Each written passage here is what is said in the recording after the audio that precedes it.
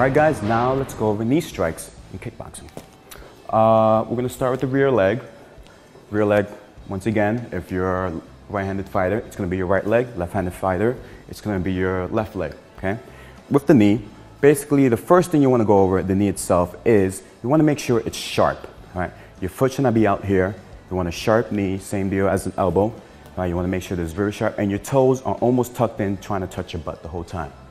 Next up is your standing leg, which is very important. With this leg right here, you want to be as tall as you possibly can. Eventually, you want to be on your toes, okay? At first, you may have to do it flat-footed, which is okay, right? but then eventually you want to continue on to trying to be in the balls of your feet, up, okay? Next very important piece of information in regards to the knee strikes is the hips. Knees, uh, people are not standing completely over the top. They're going to be right in front of you. So this knee strike needs to be more in an angle, going towards them, all right? So going straight up is not going to work. This knee needs to go at them. So that being said, the only way that's going to happen is with your hips, okay? So I want you to pay attention to this hip right here. As I come up, I'm going to squeeze my glutes and lean back. This knee is going to go up and out and back. Breathing out. Now, with my hands, I'm going to use my hand now to almost pump. Want you to almost imagine grabbing their shoulder and pulling their shoulder towards your knee. Opposite hand, whether it's across, side, other side, doesn't matter. Make sure this hand stays up.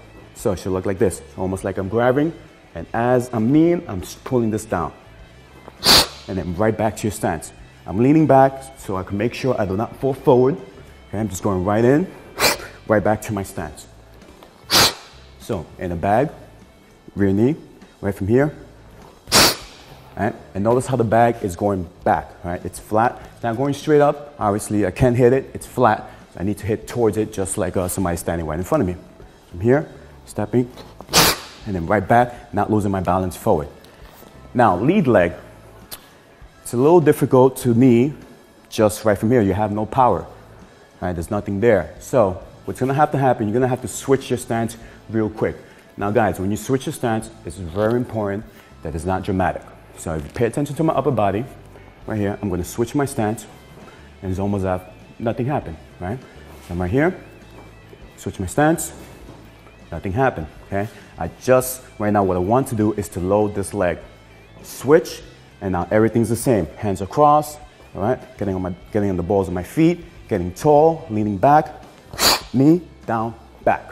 So I'm going to switch, down, back. Switch, down, back. One more time. Switch, down, back. Opposite hand is staying up the whole time. I'm coming right back to my stance. So if I'm here facing the bag, I'm going to switch, knee the bag. Right back to my stance. Switch, right back to my bag.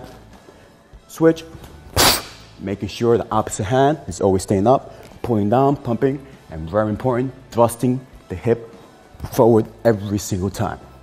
Right? And that's how you do knees in kickboxing. Bye.